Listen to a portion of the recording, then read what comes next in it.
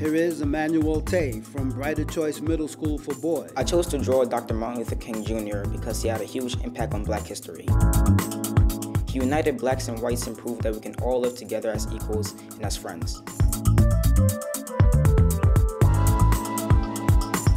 Dr. Martin Luther King Jr. is an American hero because despite threats and attacks, he did not stop working for equal rights. Brought to you by Delta Sigma Theta Sorority Inc. and the College of St. Rose.